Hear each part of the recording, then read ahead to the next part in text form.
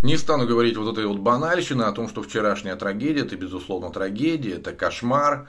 А, равно как предлагаю пока не спешить с какими-то версиями. Да, давайте дождемся официальных заявлений а, официальных каких-то итогов расследования, более-менее внятных, потому что то, что озвучивается сейчас, в данный момент, это в большей степени эмоции. Вот предлагаю пока подождать и не бежать впереди паровоза, а сказать вообще хотел не об этом. Есть вопросы, на фоне всего, ну, всей той информации, которая есть вот на текущую секунду, на текущий момент, а, есть вопросы к организации самого концерта. Потому что, если вы помните, многие из вас да, читали, там почему-то не было сотрудников правоохранительных органов изначально.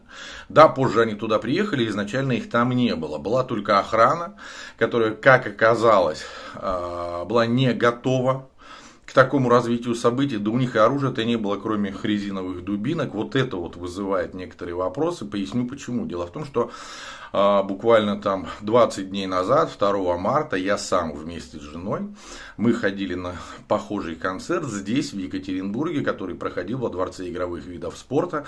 Причем вмещает Дворец игровых видов спорта даже немного меньше людей, чем Крокус Сити Холл, там до 5000 человек. И тем не менее, я отчетливо помню, что сотрудников полиции на этом мероприятии было достаточное количество. Во-первых, полицейские дежурили возле станции метро, которая расположена здесь же, буквально в 50 50 метрах от Дворца игровых видов спорта. У входа дежурили сотрудники полиции, причем были автозаки на всякий случай, были кареты скорой помощи, тоже на всякий случай внутри здания, а, значит, на входе возле рамок а, было энное количество сотрудников полиции. Также полицейские патрулировали само, само здание, сам дворец внутри.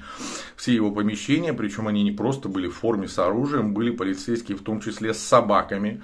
Я так понимаю, натасканными там на взрывчатые вещества, на что-то еще. И, в общем, это ни у кого не вызывало никакого вот отторжения, непонимания. Все понимали, что публичное мероприятие, массовое, много людей.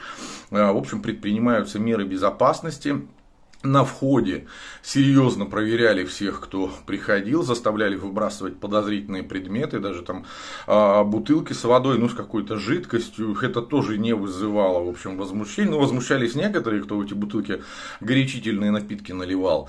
Вот, но все остальные, в общем, отнеслись нормально, с пониманием. И вот это, повторюсь, было в Екатеринбурге 2 марта во время массового мероприятия, массового концерта. А тут концерт в Москве. И ни одного полицейского, только охранники с дубинками. Удивительная организация. Как-то так.